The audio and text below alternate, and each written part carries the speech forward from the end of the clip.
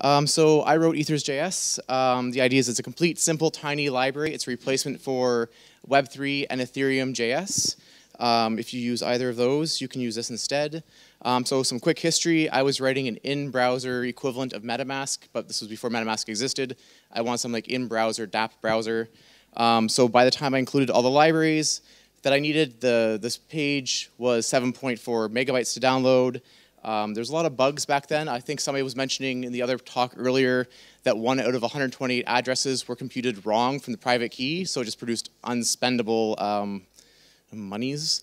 Uh, the other big thing, especially back in the day, if you wanted to build a dApp, uh, I mean, it was really simple. So all you had to do was um, download Geth, um, wait three days for it to sync, and once that was done, uh, connect to it and do all this other stuff, and now it'll probably work.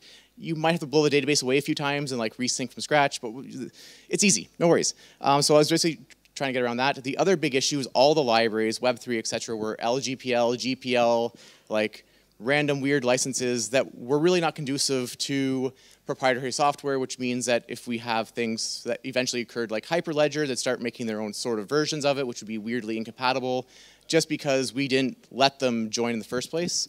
Um, so that was the idea, is basically that sort of idea. Um, also, documentation was like nil. Um, so the highlights of Ethers.js, uh, so it's tiny. Um, over the wire, it's about it's actually about 89 kilobytes right now, not 88. Um, but it handles mnemonic mnemonic keys, uh, private keys, JSON wallets. Um, it tries to really do anything you could do if you were trying to build a wallet or a framework or um, basically anything you want to do in Ethereum, it supports. Uh, it's ready to use. One thing that the other options didn't offer, especially at the time, was like a dist package that you could just like jam in a browser and be off to the races.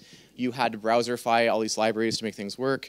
Um, test cases, most libraries around the time, again, even today, have between like 83 and a couple hundred test cases. Um, I'm currently clocked in at 20,000, give or take uh, maybe 50 or 60 test cases. Um, a lot of them are procedurally, procedurally generated. Love to talk about that for anybody afterwards who wants to find out more about how to like procedurally generate test cases. Um, providers, uh, going back to the syncing a full node, providers, you should be able to use anything you want. So you can use JSON RPC, but there's things like Etherscan and technically MyCrypto you could just like kind of tie into their their backend. There's no reason why you can't just use these other sources of truth. Um, so another big difference from people coming from Web3 is that signers and providers, actually go more into this in the next slides, but as a quick overview, signers and providers are very different, um, but there's different types of signers. Um, ENS support is a first class citizen, again I'll go more into that in a few slides. Um, ABI v2, this ABI v2 has been available in Ethers.js for over a year now. Um, I was kind of talking up last year at the previous Devcon. Again, lost documentation and everything, all dependencies are MIT licensed, which meant a few of the libraries that existed, like RLP encoding at the time, again, were only available as GPL or LGPL. So like those things were rewritten so that they could be MIT licensed. Um, how many, okay, I uh, can't read the clock. Um, anyways, so yeah, going back to providers, so there's lots of different types of providers, um, Etherscan, Infura, JSON RPC, IPC.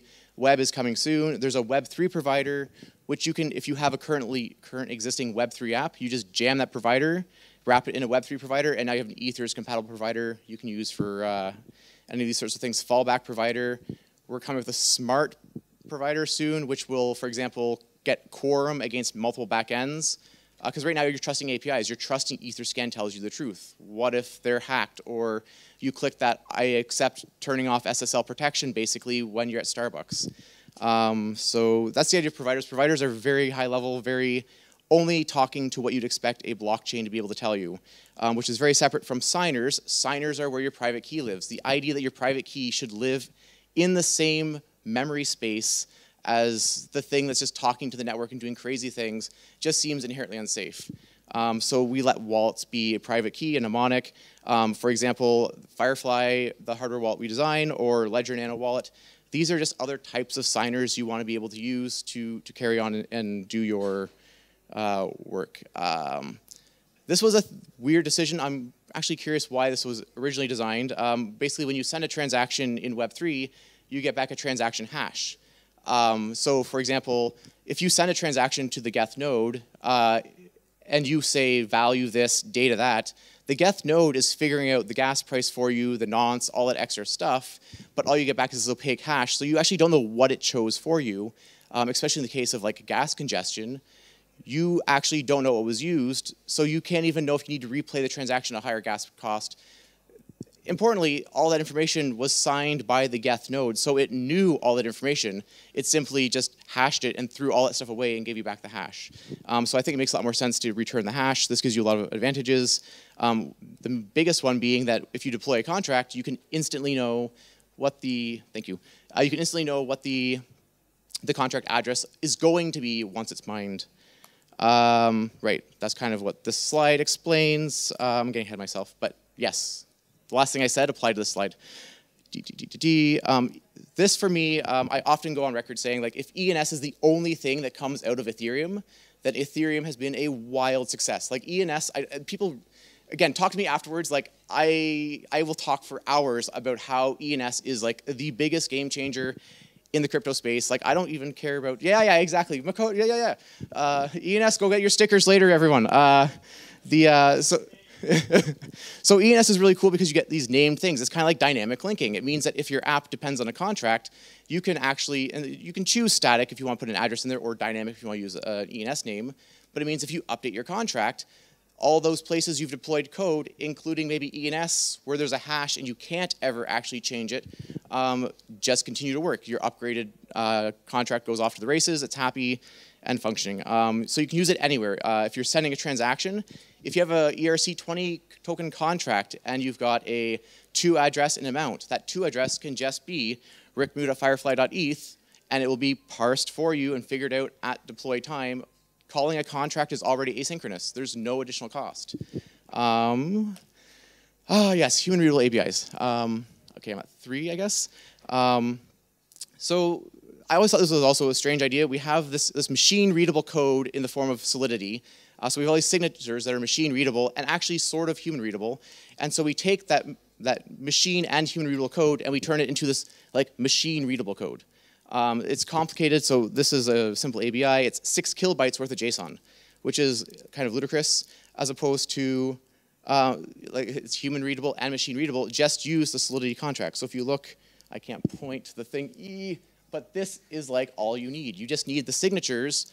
We can parse that for you and figure out what the ABI should be. And the nice thing is if you look at the source code, thank you, thank you, uh, you understand uh, what this contract is doing. Most of the time you pull a big opaque piece of JSON in, and now the rest of the code, you totally don't really know what's going on, whereas this is very obvious what the ABIs are available to you uh, if you just use them. Um, makes code readable. Um, I think readability is very important, especially in terms of audits and like just trust. So, ah, sorry, I think I'm almost through my slides, uh, sort of. But uh, ABI v2, so like I said, we've supported uh, ABI v2 for over a year now. That's basically you can pass structs in, uh, arrays of strings. It's actually kind of cool. Web3 now supports it. If you take a look at Web3's implementation, uh, it's require ethers slash utils slash ABI coder. Um, it's an awesome solution, and it means we have like one good working solution that everyone can use, and we're off to the races. Uh, da, da, da, Extras, promise friendly. You can basically pass promises in anywhere you can pass a thing in. A lot of blockchain things are asynchronous. So for example, if you have a transaction, uh, one of the things you pass in is a nonce. Well, you can just pass in a, a promise that resolves to the nonce as your nonce. And again, everything's asynchronous. It can be resolved. BIP39 mnemonics, we support English, Spanish, French, Italian, Japanese, Korean, and both simplified and, and traditional Chinese. Um, yes. Utilities, we've got lots of utilities for dealing with, oh, one minute, okay. Uh, ABI code, yeah, so basically stuff. These slides will be available online. Um, I try to make everything as possibly available as I can, and the rest are just examples. I was not really planning to show these off. These are just in the slide deck, so when you look at the slides afterwards, you can kind of get an example of it's easy to use. You just pick it up and start using it. There's no syncing nodes. There's none of, uh, you don't need uh, MetaMask or anything. It just works out of the box, and done. So questions? I think I have a minute maybe, half a minute.